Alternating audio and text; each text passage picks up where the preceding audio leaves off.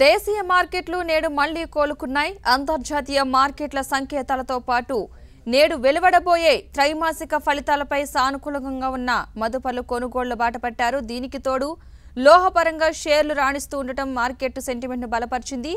దీంతో ఆరంభం నుంచే సూచీలు లాభాల బాట పట్టాయి. సెన్సెక్స్ నూట నాలుగు పాయింట్ల లాభంతో ముప్పై నాలుగు వేల నాలుగు వందల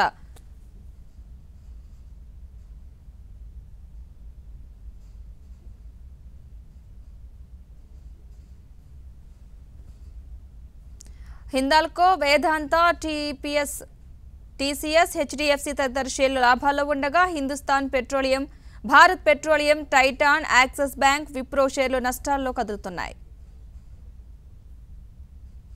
దేశీయ మార్కెట్లు నేడు మళ్ళీ కోలుకున్నాయి. అంతర్జాతీయ మార్కెట్ల సంకేతాలతో పాటు నేడు వెలువడబోయే త్రైమాసిక ఫలితాలపై సానుకూలంగా ఉన్న మదుపర్లు కొనుగోలు బాటపట్టారు దీనికి తోడు లోహపరంగా షేర్లు రాణిస్తుండడం మార్కెట్ సెంటిమెంట్ను బలపరిచింది.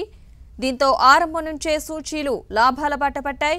సెన్సెక్స్ నూట నాలుగు పాయింట్ల లాభంతో ముప్పై నాలుగు వేల నాలుగు వందల ముప్పై ఐదు వద్ద నిఫ్టీ ముప్పై ఎనిమిది పాయింట్ల లాభంతో పదివేల ఐదు వందల అరవై నాలుగు వద్ద కొనసాగుతున్నాయి.